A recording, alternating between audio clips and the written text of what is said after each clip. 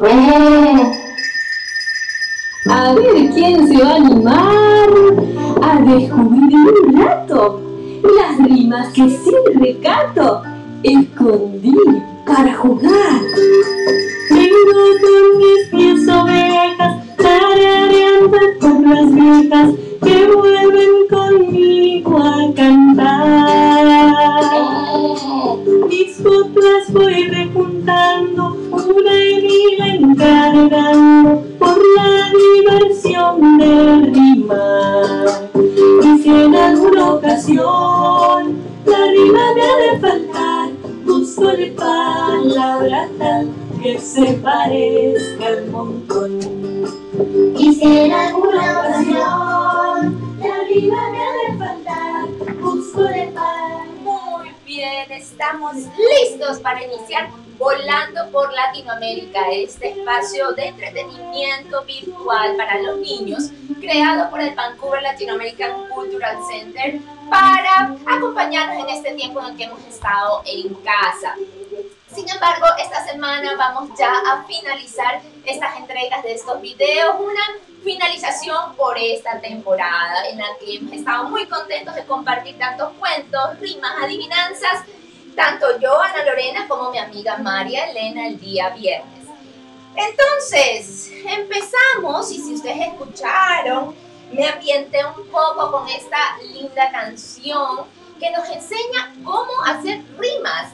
Eh, se llama Oveja en Rima de la agrupación argentina Canticuénticos con un ritmo muy andino porque justamente el cuento de hoy va a hablar sobre um, un personaje que ya van a ver que vive en los Andes de, en este caso de Ecuador, pero los Andes son un sistema montañoso que está en muchas partes de Sudamérica, Colombia, Ecuador, Perú, Bolivia, Chile, Argentina. Compartimos mucho de la cultura andina.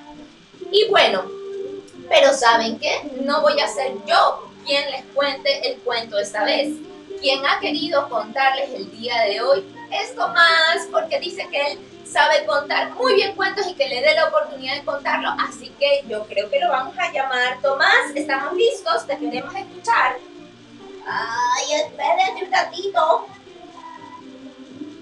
Ay, ay, ay, ay, ay. Hola, hola a todos. A ver, vamos a ver.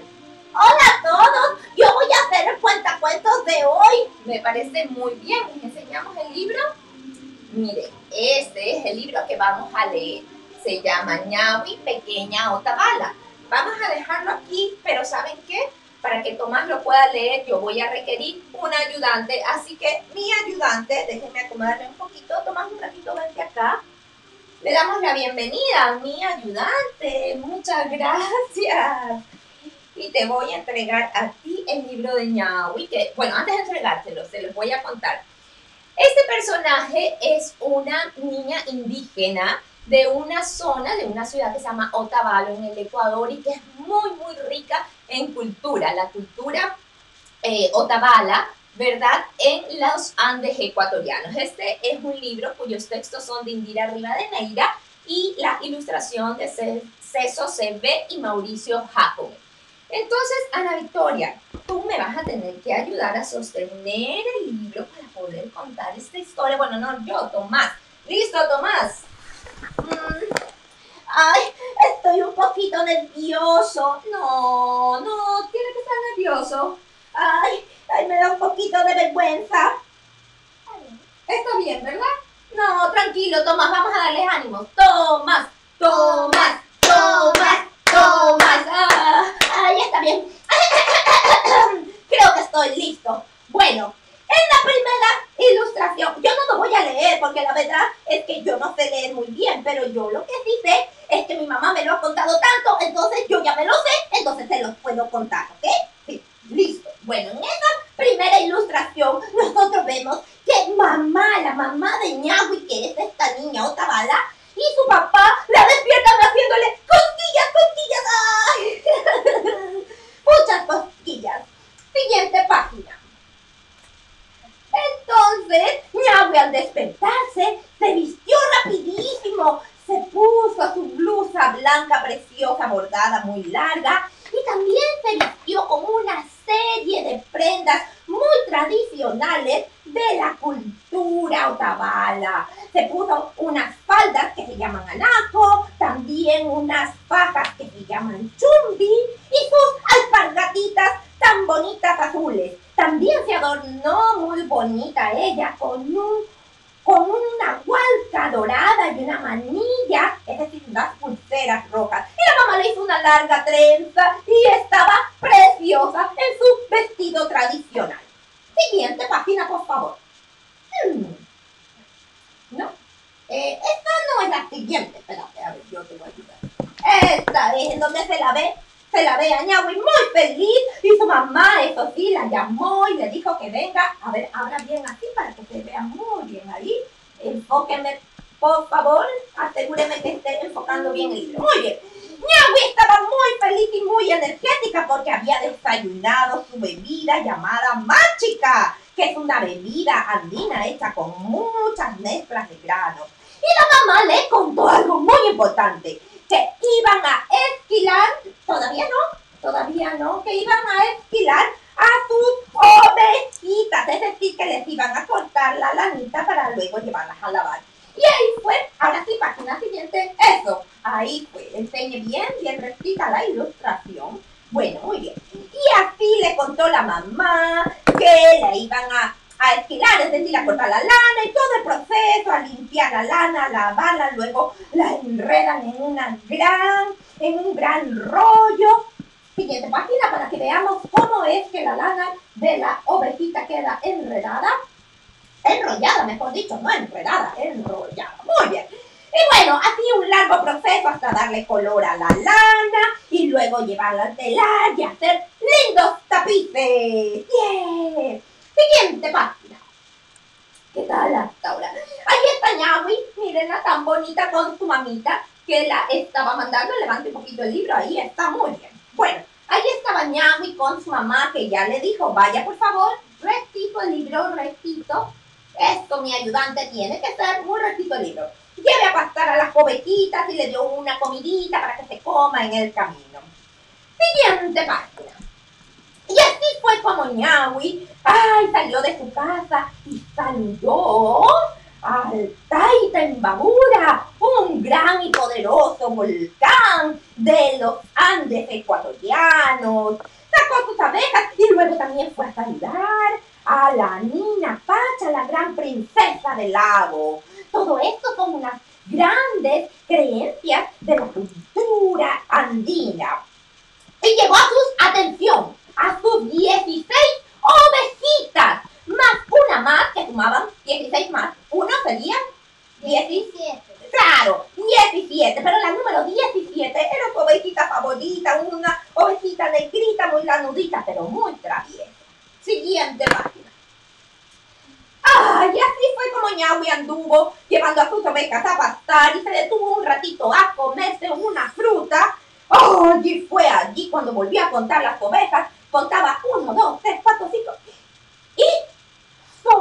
116, su ovejita negrita, peludita y traviesa se le había escapado. ¡Oh, no! Miaui entonces se puso muy nerviosa. Miró, miró hacia un lado, miró hacia el otro, y miró hacia abajo, hacia arriba, y no encontraba nada. Hasta que, allá al fondo, en los manzales, la divisó. Entonces le dijo a sus alparquitas, a alpargatitas, o sea, a sus zapatitos, ¡corran, corran!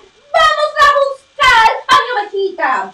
Y así fue como atrás de los maizales la vieron, pero nada, la ovejita traviesa se le fue corriendo. Y así pasaron algunos momentos en los que la alcanzaba a ver, corría, corría y, y nada, se le escapaba.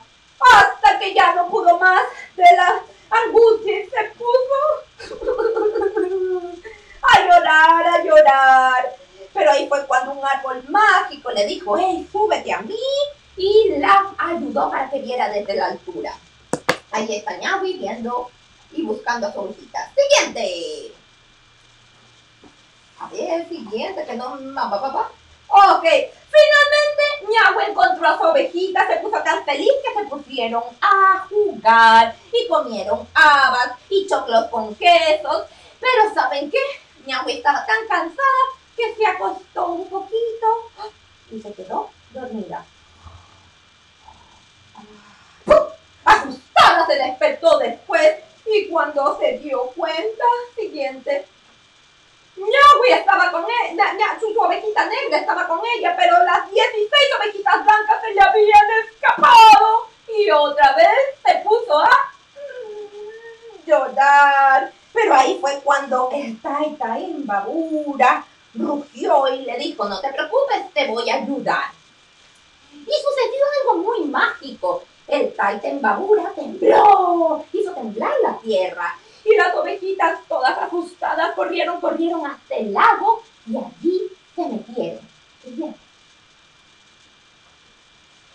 Ñawi se emocionó mucho porque logró ver a sus ovejitas. No, no, no, la anterior, la anterior.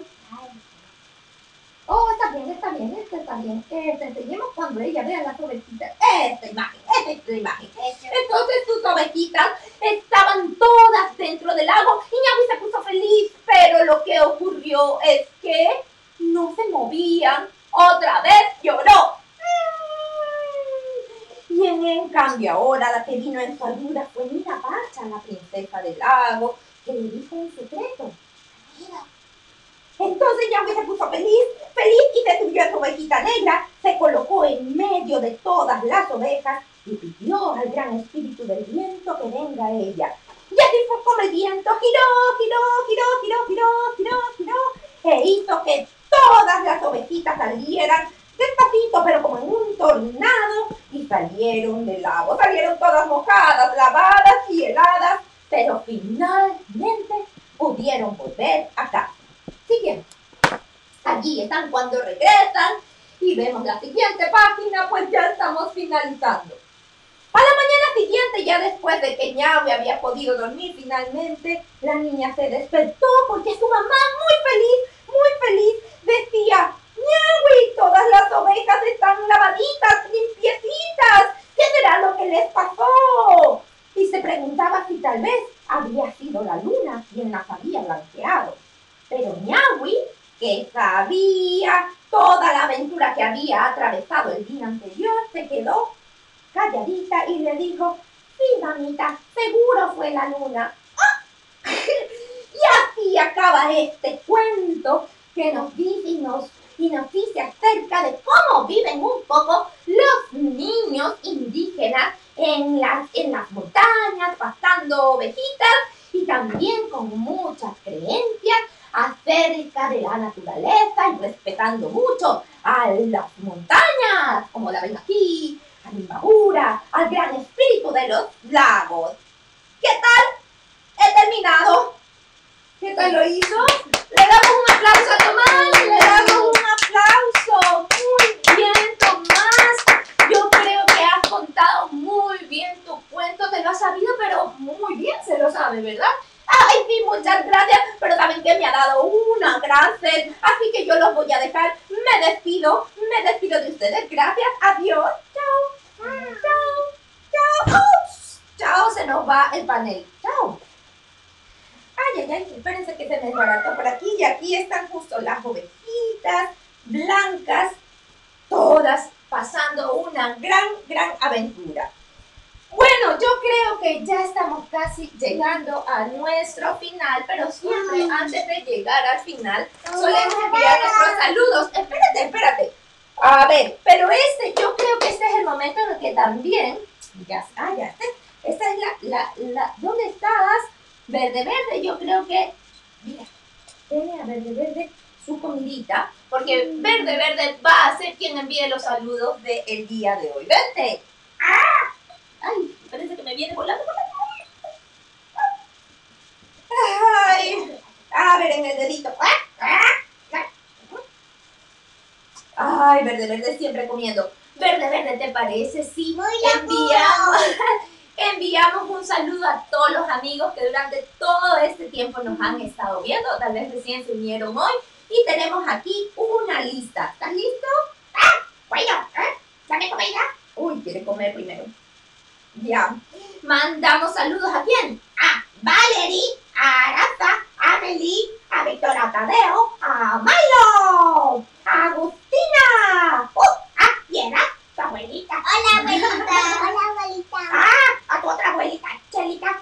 Hola, abuelita. Hola, abuelita. A María Juliana. Muchas gracias porque María Juliana es quien nos ayuda en los videos de los viernes.